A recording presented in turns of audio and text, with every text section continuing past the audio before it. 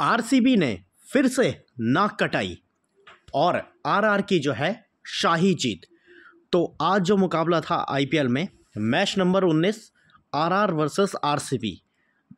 का मुकाबला था, जहाँ पे एक बार फिर से आरसीबी की तरफ़ से विराट कोहली ने जो है शानदार शतक आया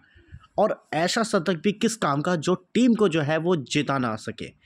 तो रॉयल चैलेंजर बैंगलोर ने जो है वो पहले खेलते हुए जो है अपने 20 ओवर में जो है एक सौ तिरासी रन बनाए, जहाँ विराट कोहली ने बहत्तर गेंदों पे 113 फैफ टुप्लिसी ने 33 गेंदों पे 44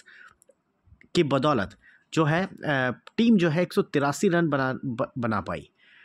फिर जब आरआर की जो है वो बल्लेबाजी आई, क्या खूब बल्लेबाजी आई, उन्होंने जो है पहले छः ओवर में खासर जॉस बटलर और संजू सैमसंग ने जो है बिल्कुल जो है मैच को एक तरफा कर दिया जहाँ जॉस बटलर जो है आखिरी तक टिके रहे और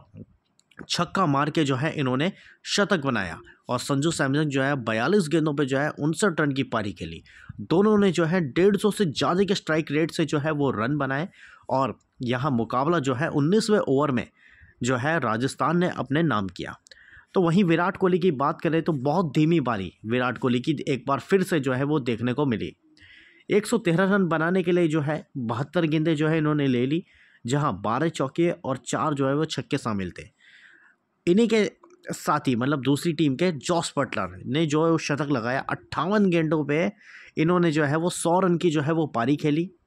और टीम के जो है वो काम आई है लेकिन विराट कोहली का शतक जो है वो टीम के जो है वो काम नहीं आया है और आरसीबी की जो है अब लगातार जो है वो चार हार हो गई है और राजस्थान की जो है वो चार जीत के साथ जो है वो आठ अंक पे हैं। अब आगे का सफ़र आरसीबी का कैसा होगा, अब वो बता नहीं सकते, क्योंकि पाँच मैचों में जो है इनके एक जीत और चार हार है। तो अब आने वाले मैचों में राजस्थान तो सेफ़ है बिल्कुल, लेकिन आरसीबी के लिए जो है वो खतरा हो गया है।